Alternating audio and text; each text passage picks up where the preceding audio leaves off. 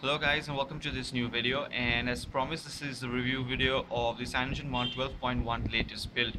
Now it launched yesterday from a relatively unknown developer okay so he in his own words is a bit unexperienced he just learned it but he did a pretty good job in updating this build.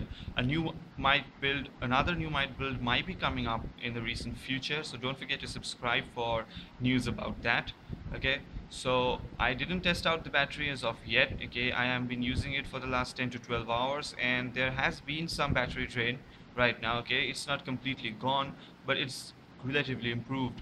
So for a detailed coverage of the how the battery life is with this update or build number please join the Facebook page from the link down below in the description if you haven't yet and I'll post all the detailed battery updates when I am done testing. So let's talk about what's improved and what's still not there and what's still not fixed. So the first thing that got fixed is of course the video playback which was a big issue okay? So it works everywhere on Instagram and even on YouTube. There are no stutters or video lags okay? So I'll just quickly make it play.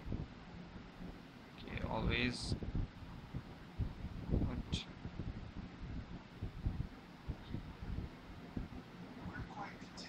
and as you can see it plays quite smoothly.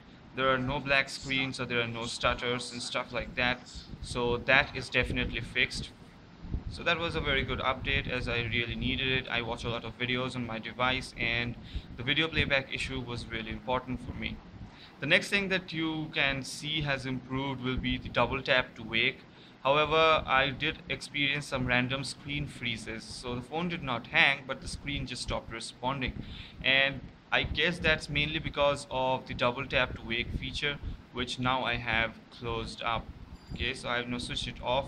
But if you do switch it on and then just double tap on the screen, it will turn on. But it was giving me random screen freezes, so I kept it off. If it did work for you without giving you screen freezes, please let me know in the comments below. So the next thing that improved is now you have OTG support, which I cannot show you in this video because I do not have an OTG device right now. Okay, so the next thing that's improved in this uh, ROM is definitely the speed and the whole user experience. So it's much smoother than the previous ROM and you have a new set of apps. However, the first time you install this ROM, you might head over into certain errors like the uh, storage full notification, which is again back from the Trin and Who's build. Okay, so there are two ways to solve this. One, you can just drag and drop and check out the notification, tap and hold on it, and just tap the bell and the slash icon to hide the notification forever. Also, you can update the build.prop file. So there's a file in the description below. Okay, it's already linked. All the download links are of course present in the blog post that is linked below. Okay, so you need to download the uh, sorry uh, you need to download the build.prop file and you have to place it in the system folder and replace it along with proper root rights so that will fix both the Google Play sync issues and also the storage notification icon or notification will be gone forever. So that fixes two things so you have to do that manually and the instructions for that will also be down in the blog post below.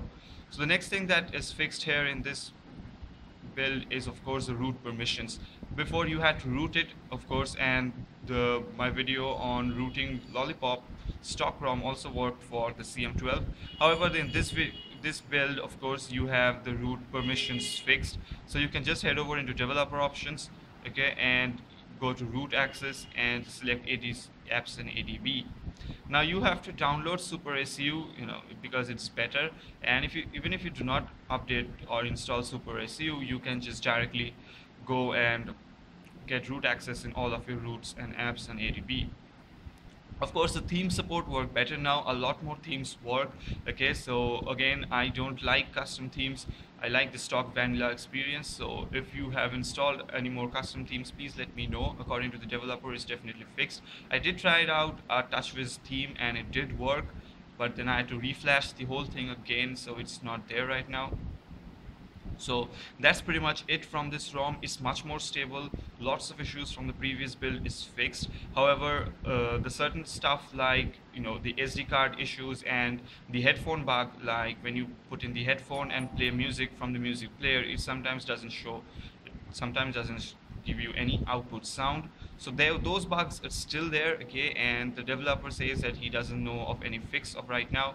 So maybe the next build will fix it However, if those are two aren't such issues for you and double tap to wake, installing custom themes and having a much more stable user interface is more important to you, definitely this is the build you can opt for. Both SIM cards work as you can see and I am on an A501CG and the developer says that he tested this out only on A501CG so this should work on A500CG too. Just follow the normal installation methods. You just have to flash two files okay for installing this even if you're installing this for the first time. And the link for all of that will be down in the description below. There are two installers. One is the normal image file downloads and there's an auto installer. I'll prefer you do the manual method because it's much safer and it gives you a cleaner install. Also this will remove all your user data and cache data so do back up all your data before you proceed with the steps. Again thank you guys for watching. We almost reached 1000 subscribers and Thank you to all the thousands of you who joined the page. Don't forget to join the Facebook page. It helps the channel and it will also help you where you can join all the discussions. If this video helped you, don't forget to share it with all the Facebook groups where Zenfone people are involved. It might help a lot of them. And again, thank you guys for watching this video. I'll see you guys in the next one.